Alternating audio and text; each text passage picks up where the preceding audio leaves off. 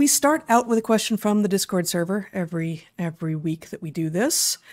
And this week, the question reads as follows Dear BNH, is there evidence that unvaccinated individuals are at risk from intimate relationships with people who are vaxxed? If so, is there a time at which these relationships could become safe? For example, waiting one year after someone was vaxxed. Additionally, are the risks significant?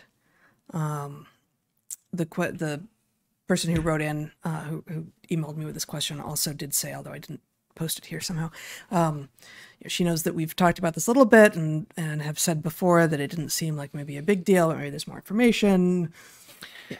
So, what we have said before is that the issue of shedding is hard to fathom because to the extent that an individual can tolerate whatever it is that they're being inoculated with, even with high risks, the fact that most people seem to get away with it uh, suggests that whatever they might be shedding into the environment through breathing, for example, would be such a tiny fraction of that that it's hard to imagine that absent an extreme sensitivity that it would have any measurable effect. But there's been a lot of work uh, in recent times with respect to particular kinds of shedding. So, sexual shedding, which might be especially a hazard to women during sexual intercourse, the shedding of uh, either proteins or mRNA templates themselves in breast milk is a possibility. So, I think we cannot discount the possibility that in intimate relationships, there are kinds of shedding that might matter. Now, with respect to a baby, the vulnerability would be much greater because the vulnerability of infants in their first year is substantial. Um, so that is something I would concern myself with. Um, as far as sexual shedding, uh, I could see it being an issue. I would certainly imagine that it is an issue that would decrease over time. With that said, we do not have a good sense of how quickly the body rids itself of these mRNA templates. The right.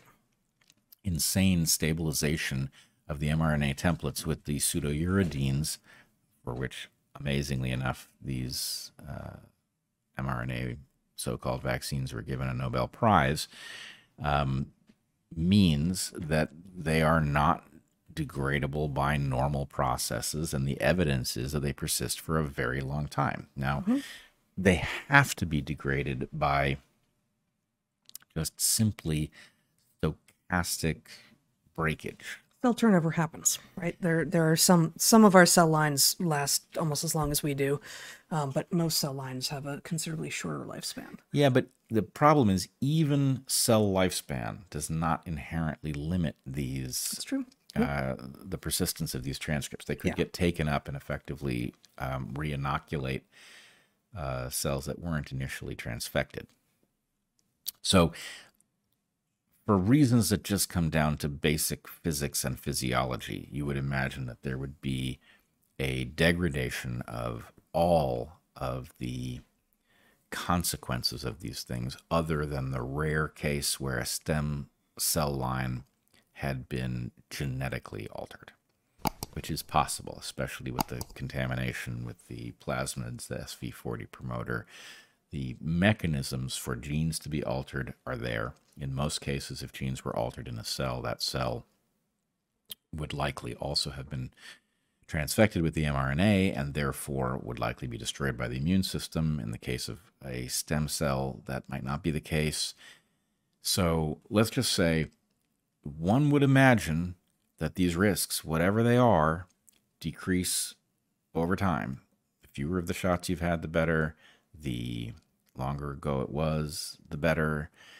Um, I don't know how a world is going to deal with, you know, you can't avoid the world of those who got these transfected elements. So, yep. um, you know, I, I would just say your normal instincts probably apply. The number matters, the time it's been since matters, and um, the harm, while unforgivable at the level of these things having been administered, is something you can assess its bounds roughly by the fact that most people who got them uh, are, you know, may have been temporarily sickened but are okay.